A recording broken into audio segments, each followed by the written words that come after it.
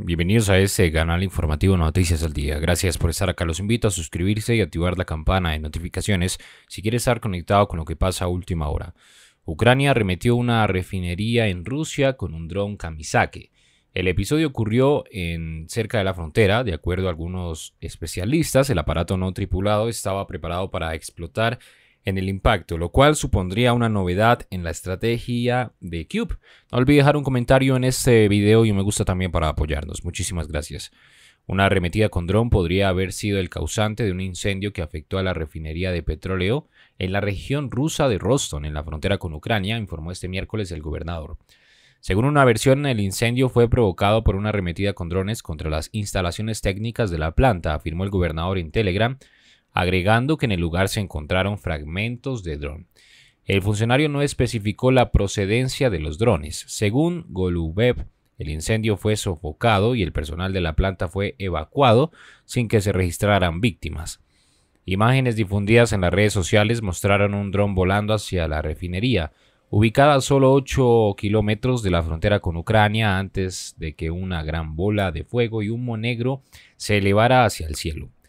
Algunos especialistas que analizaron las imágenes dijeron que el dron no parece ser un aparato de fabricación ucraniana. Se trataría, por el contrario, de un dron barato personalizado para explotar en el impacto. Eso supondría una novedad en la estrategia ucraniana. ¿Qué opina de esta información? Nuevamente los invito a suscribirse. Gracias por estar acá. Noticias al día. Santiago Carbo Valverde. ¿Están funcionando o no están funcionando las sanciones a Putin? Las sanciones a Rusia y, por tanto al régimen de Putin son las más grandes que se han impuesto sobre cualquier país. Y desde luego están limitando la capacidad económica y financiera de la economía rusa, pero también del gobierno ruso. Eh, determinar si están funcionando o no en términos de qué pasa con la guerra, pues es más difícil de determinar, porque lógicamente hay una voluntad geopolítica eh, del régimen de Putin que va por un lado distinto. ¿no? Y es cierto que hay una cierta falta de eficacia en las medidas porque no se ha podido cortar totalmente la importación de gas ruso. Una parte de Europa aún depende enormemente del gas de Rusia y por tanto sigue de alguna manera financiando o entrando determinados recursos en la economía rusa que lógicamente el gobierno puede eh, utilizar. En todo caso, las medidas que se han impuesto son durísimas para la capacidad del Banco Central, que tiene congelados sus activos fuera de, Rusia, eh, para la capacidad de la convertibilidad del rublo, para mm, la utilización de los pagos internacionales a través de SWIFT. Pero totalmente eficaz no es porque hay una dependencia del gas ruso y en materia bélica, pues lógicamente la decisión va por otro lado. La decisión bélica no se ha parado sigue. Las sanciones, porque aquí entra un debate, entra un debate moral, eh, geopolítico, porque tú tienes tres escenarios. Tienes el escenario de no hacer nada, lo cual eso tiene consecuencias de no hacer nada. El otro extremo es irte completo una guerra, lo cual eso tiene consecuencias. Y aquí entra entonces las sanciones económicas como una forma de hacer algo. Ahora, el impacto fue real, las decisiones fueron históricas cerrar el acceso a las reservas internacionales de un país donde el 50% de sus reservas están fuera del país, eso es histórico. Es verdad que hubo una caída del rubro, se depreció, la inflación se disparó, pero cuando vas viendo a través del tiempo, el rubro ha vuelto a apreciarse, eh, no hubo una corrida bancaria, el Banco Central tomó decisiones como subir la tasa de, eh, la tasa de interés, como no permitir que se saque reservas eh, tanto foráneas dentro de Rusia, sacarlas hacia afuera, y ahora está poniendo medidas como me tienes que pagar, si quieres importar el gas o el petróleo ruso, me tienes que pagar en rublo. Entonces lo que vemos es que las sanciones a nivel financiero o económico, lo que fue un impacto al principio, no es tal así.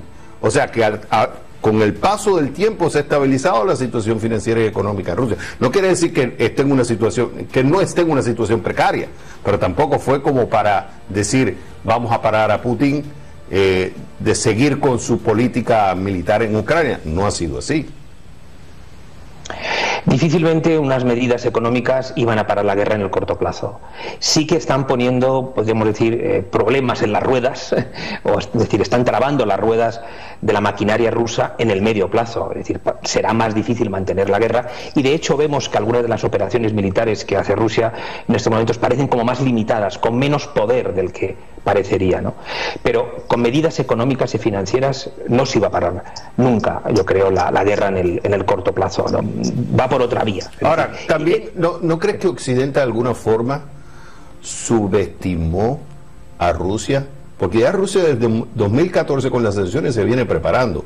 Aumentó sus reservas internacionales en oro, ha estado tratando de diversificarla y la realidad es que la dependencia que tiene Europa principalmente, que también Rusia tiene dependencia de Europa en el tema del, del, gas y el petróleo, principalmente el petróleo, de alguna forma no será como que se subestimó el decir vamos a poner estas sanciones y no tomar en la, no poner en la ecuación la dependencia que tiene Europa de Rusia. Bueno, probablemente se fue algo ingenuo. Eh, se fue ingenuo cuando se impusieron las sanciones en febrero, pero quizás han sido nuestros ocho años cuando se ha sido ingenuo. Porque Rusia, que sí que sabía lo que probablemente quería hacer, pues se ha ido preparando. Y Europa no lo hacía. Todo lo contrario, aumentaba su, dependencia del gas. y, eso no se podía cortar en el corto plazo. Por tanto, se subestimó, se fue ingenuo pensando que iba a ser eso definitivo, pero es que probablemente no había voluntad política para hacer otra cosa, no había voluntad política para embarcarse en una guerra eh, al máximo nivel, ¿no? Ayudar a financiar el, ejército ucraniano, ucraniano sí, pero no nada más. ¿no? Entonces sí, se puede hablar de una cierta Em, ingenuidad o que se haya subestimado eh, esa preparación que Rusia hizo porque probablemente en su hoja de ruta estaba claro que algún día iba a, iba a invadir Rusia, fíjate que, Ucrania. Fíjate que la, otra, la otra decisión de, por ejemplo, de Rusia decirle a los países exportadores, importadores de gas y petróleo, decirle me tienes que pagar en rublo, lo cual eso tiene a la misma Europa en división, porque algunos dicen que eso viola las sanciones, otros dicen, bueno, no necesariamente violan las sanciones, algunos países ya están pagando en rublo, otros no quieren pagar en rublo. De alguna forma también es una contraofensiva, por, una contraofensiva financiera por parte de Rusia, lo cual pone una situación más complicada, porque de alguna forma los demás países estarían actuando como bancos centrales, porque al tener que pagarle en rublo, tú tienes que demandar rublo, lo cual eso ayuda también a apreciar la moneda eh, rusa. Efectivamente, es una medida por parte de Rusia que ha sido, podríamos decir, inteligente, ¿no? Es decir, bueno, yo mientras tenga abierto el grifo eh, del gas, voy a poder recuperar divisas internacionales, sean dólares, euros, libras esterlinas. Y es, exijo rublos, me tienen que cambiar rublos por esas divisas y por tanto recupero algo de esa capacidad de compra internacional. Pero aún así, lógicamente, también le va minando poco a poco. Es decir, le va haciendo daño poco a poco, pero lógicamente mucho más lentamente. Aquí la clave es que se depende enormemente del gas ruso.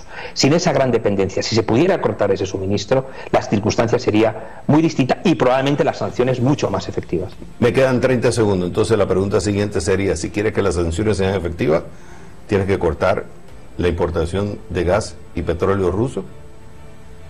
Prácticamente sí, no hay otra manera que cortar totalmente la entrada de dinero en Rusia que viene fundamentalmente por los combustibles, gas y petróleo. Y eso no se va a hacer en el corto plazo. Se necesita tiempo para que Europa reduzca o haga desaparecer esa dependencia de los combustibles rusos.